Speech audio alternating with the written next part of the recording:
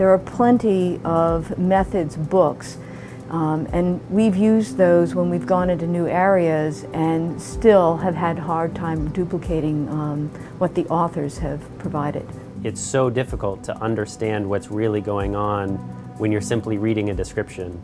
So many things in science and journals uh, get buried in the methods and you don't really know how things are done having to write out in words the way to do the procedures we demonstrated today would have been you know, very difficult and I think hard for other scientists to really understand exactly how to make the procedure work. Tori, oftentimes with complex procedures it's very difficult to think about it in your mind and how to reproduce the work.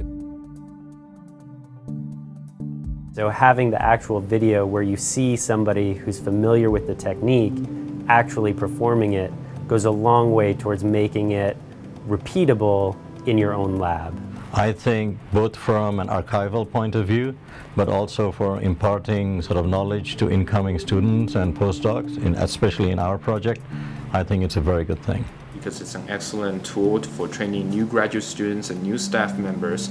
So the video really helps us learn to do manually the techniques. Without it, you are relying entirely on written descriptions of techniques, or you have to go visit somebody else's lab. Yes, I would recommend JoVE to my colleagues. I would definitely recommend JoVE to all my colleagues. I would love to recommend JoVE, and I do recommend JoVE to my colleagues.